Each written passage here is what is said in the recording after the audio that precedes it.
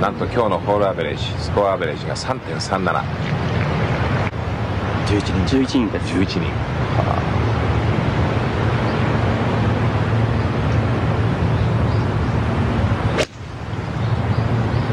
これも強く。振ったんじゃ大きいんだろうねきっと。ね。えこれはああよく止まった。ジャンボはの6番アイアンを持っています。6番じゃまず乗ることないと思うんですよね。ジャンボも。うんものすごい柔らかく打ってでも技を使ってきそうな。もうそういう状況じゃないでしょもうまっすぐ真ん中に乗せようと6番でドーンと打ってのあの真ん中に乗せようとする作戦でしょうから。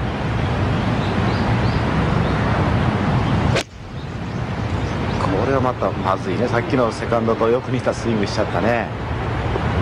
おっと。ああこれはついてる。しかし先。